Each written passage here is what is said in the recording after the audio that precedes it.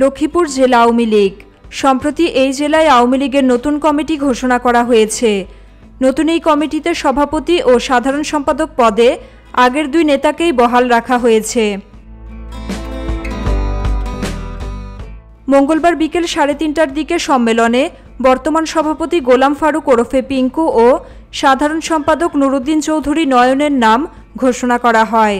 আওয়ামী লীগের সভাপতি মণ্ডলীর সদস্য শেখ ফজলুল করিম সেলিম আংশিক এই কমিটি ঘোষণা করেন।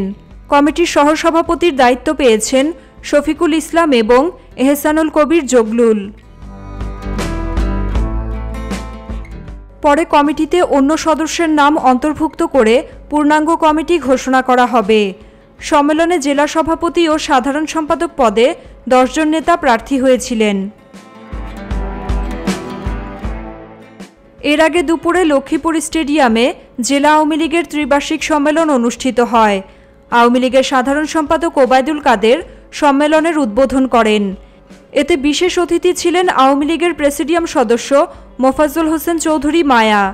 প্রধান বক্তা ছিলেন আওয়ামী লীগের যুগ্ম সাধারণ সম্পাদক মাহবুবুল আলম হানিফ। এ সময় উপস্থিত ছিলেন লক্ষ্মীপুর তিন আসনের সংসদ সদস্য A K M Shahjahan Kamal Awami লীগের কেন্দ্রীয় নেতা ফরিদুন নাহার লাইলি, হারুনুর রশিদ ও সুজিত রায় নন্দীসহ আরও অনেকে। সকাল থেকে খণ্ড খণ্ড মিছিল নিয়ে জেলার বিভিন্ন স্থান থেকে আওয়ামী লীগ ও এর সহযোগী সংগঠনের নেতাকর্মীরা সম্মেলনস্থলে এসে উপস্থিত হন। জাতীয় সংগীত পরিবেশন এবং জাতীয় দলীয় পতাকা উত্তোলনের মাধ্যমে কাউন্সিলের উদ্বোধন করেন ওবায়দুল কাদের। সম্মেলনের নিরাপত্তা নিশ্চিত করার জন্য লক্ষ্মীপুর স্টেডিয়াম এলাকায় বিপুল সংখ্যক পুলিশ মোতায়েন করা হয়।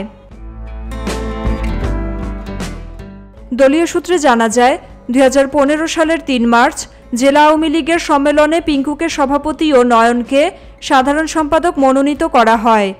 পিঙ্কু ও নয়নকে দিয়েই ফের নতুন কমিটি ঘোষণা করা হয়েছে।